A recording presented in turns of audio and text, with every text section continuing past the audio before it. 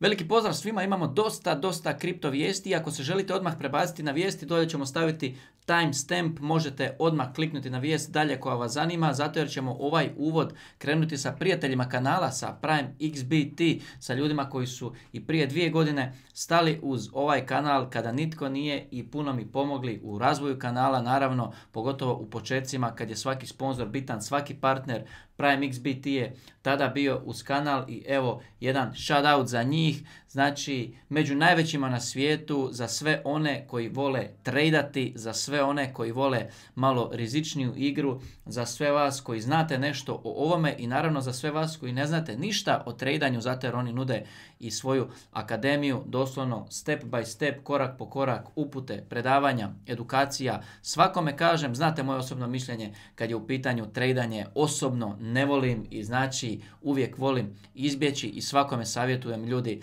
radije dobra analiza, dobro istraživanje, ulazak u neku kriptovalutu, e, držanje do trenutka kad se stvari krenu događati pozitivno, kad cijena ode gore, prodati, uzeti profit i tražiti idući projekt, međutim to je moja strategija.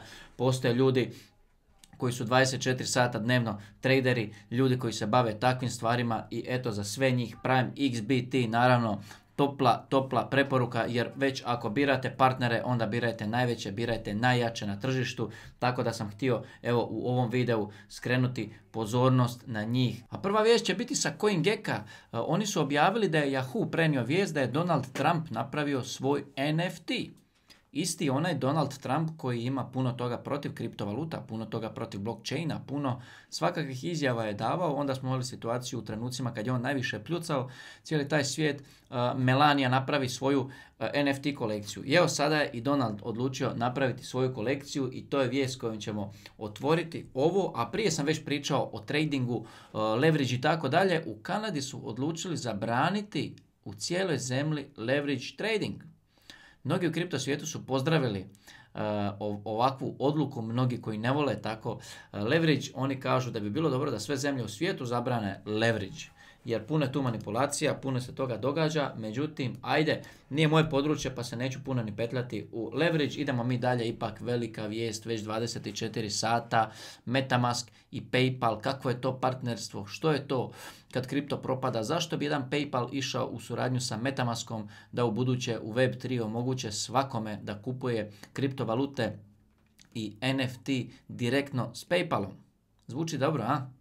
Naravno da zvuči dobro. Idemo mi dalje. Kevin O'Leary je opet optužio Binance, sad se tu sve se svalilo na Binance, međutim sad baš, baš sad mi je Binance još draži. Kad vidim koga optužuje, zašto ga optužuje i kako ga optužuje, nevjerojatne stvari. Čovjek koji je dobio 15 miliona dolara od FTX-a da bude na njihovoj strani, sad se usudi optuživati Binance. Ako pratite ovaj kanal duže, više od godinu dana, sjetit ćete se, sjetit ćete se da sam nekoliko puta našao na Facebooku od New York Timesa objave u kojem je pisalo ono gore da je sponzorirano i onda pljucanje po Binance-u. I onda sam ja postavio pitanje vama, ljudi, meni je čudno zašto tadašnji medij kojeg prati 6, 7, 8 miliona ljudi ima potrebu da radi plaćenu objavu protiv Binance-a kad je to samo jedna u nizu vijesti.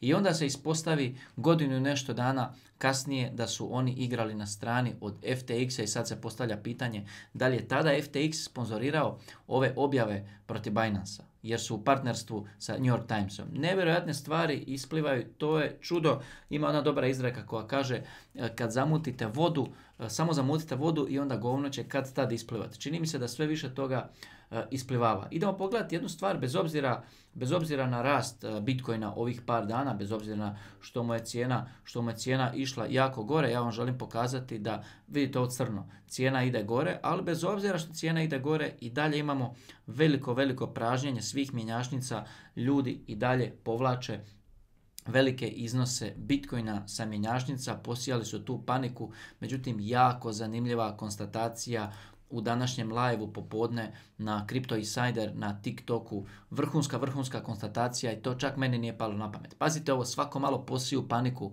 Huobi je u problemu, GTO je u problemu, Binance je u problemu. I sad kad god posiju vijest da je neka mjenjačnica u problemu, svi živi krenu e, povlačiti sredstva sa te mjenjačnice. Međutim, svaki put kad vi povlačite sredstva, vi morate platiti neki fee, neku naknadu, jel tako? I sada svi živi povlače sredstva sa Binance-a, sad će Binance zaraditi nekoliko stotina milijuna dolara zaraditi na fijevima. Tržište se stabilizira, nakon par mjeseci svi opet krenu vraćati sredstva na Binance jer vide sve u redu sa Binanceom i tako dalje. Onda imamo GTO u velikim problemima, vijest, svi živi povlačimo sredstva sa GTO, GTO uzme lijepe naknade na fijevima, međutim to su lijepe naknade kad mi pričamo o milijardama dolara koje se izvlače, oni uzmu 50-100 milijuna dolara ovako, samo zato jer je malo panike posijano. Tako da, moje osobno mišljenje, sa Binanceom će biti sve u redu. Što imamo dalje od vijesti? Nismo se danima bavili sa tokenom Vatreni, pazi ti to, ovaj, bit će sve u redu s ovim tokenom, još uvijek ću ulagati u njega jer vjerujem da mora ići preko 1 dolar, to sam ono siguran, gotovo za sebe sam siguran, ne za vas jer vi napravite research za sebe.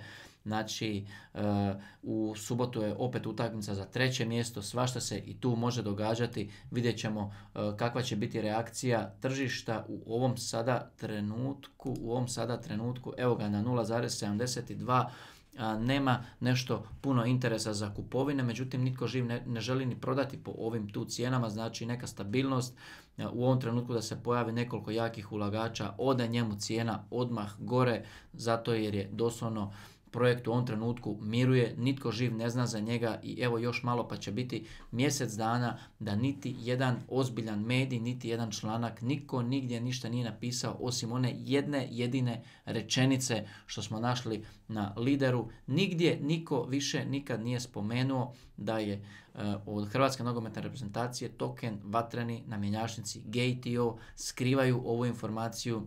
Mi dalje pratimo iz dana u dan, analiziramo i danas smo analizirali neke adrese, kretanja, sve živo njuškamo, nećemo dozvoliti jedan jedini krivi korak da se napravi, a da mi o tome nemamo informaciju, tako da svakako kupovat ćemo i kupujemo ovaj projekt jer vjerujem da će napraviti velike stvari, bez obzira što će biti u subotu, ne zanima me što će biti u subotu, ćemo mi biti treći ili četvrti, by the way najavljen je Burn za subotu, s tim ćemo se baviti u nekom drugom videu, čeka nas Liga Nacija već u trećem mjesecu, do trećeg mjeseca se puno toga može događati u kripto svijetu, izlazak na neke nove mjenjačnice, ekspanzija, više ljudi će saznati za ovaj projekt, svašta lijepo se ovom projektu piše, tu međutim neću vas sada više zamarati s tim projektom. Idemo mi dalje pogledati što ima još od vijesti. Sa Krakena jedna lijepa informacija za sve one koji imaju Stellar XLM.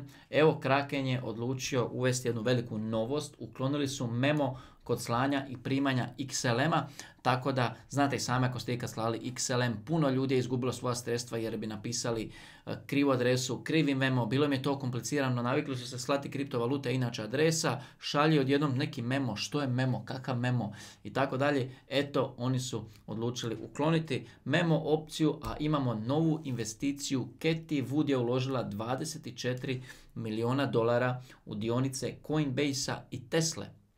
Zašto bi Katie Wood opet kupovala dionice Coinbase-a ako kriptovalute propadaju, ako će sve mjenjačnice propasti, ako Bitcoin tone, ako nam nema spasa? Zašto bi ona kupila milijone dolara dionica? Zna Katie kud ovo ide. Idemo dalje. Prije nego što nastavimo, sa ostalim vijestima još ćemo baciti oko jer evo i mene zanima kako, kako stojimo i koliko nam je ostalo dana do ovoga velikoga do velikoga darivanja koje smo organizirali ovdje na kanalu. Mislio sam da će možda biti i veće, međutim, evo ga, tu smo gdje jesmo. 890 eura se skupilo u ovom trenutku i još 15 dana traje ova nagradna igra. Očito je da nećemo skupiti iznos koji smo ciljali 10.000 eura, međutim i ovaj iznos će biti lijep onome koga dobije. Još uvijek možete sudjelovati u ovoj nagradnoj igri. Svaki novi sudionik, kriptomat povećava ovaj pot za 10 eura a vi možete sudjelovati tako da ćete dobiti svako 20 eura bonus ako napravite akaunt na mjenjačnici kriptomat, kupite bilo koju kriptovalutu u vrijednosti 100 eura ili ako ste već od prije korisnik kriptomata, a niste imali kupovinu veću od 100 eura, vi ako to napravite, reaktivirate se i vi ćete ući u ovaj bubanj i svi dobivate po 20 eura. Tako da, eto, i to sam htio podijeliti sa vama, a mi idemo dalje. Jack Dorsey, Jack Dorsey je donirao 14 bitcoina, znači decentraliziranom projektu Nostr. Zašto bi on donirao 14 bitcoina i razbacivao se sa bitcoinom, ha? Vrlo interesantno, neka, Jack podržava razvoj kriptovaluta, imali smo situaciju nedavno na velikom samitu u Africi, nevjerojatne stvari čovjek radi dolje u Africi. U Africi ne bi vjerovali koliko ljudi nema niti svoj račun u banci. Tu ne pričamo o 10-20 miliona ljudi, tu pričamo o stotinama miliona ljudi koji nemaju akaunt u banci doslovno, a kamoli da znaju što su kriptovalute, tako da velike, velike mogućnosti se nude u Africi. E, Cardano je bacio oko na Afriku opasno, velike stvari dolje spremaju, tako da Jack Dorsey podržava ovakve stvari, podržavaju i mnoge druge fondacije, tako da svakako polažemo mi nade u Afriku, svakako. Ako još niste, dajte jedan jedini like ovom videu, pogledajte još videa tu na kanalu i mi se vidimo uskoro. Hvala vam lijepo.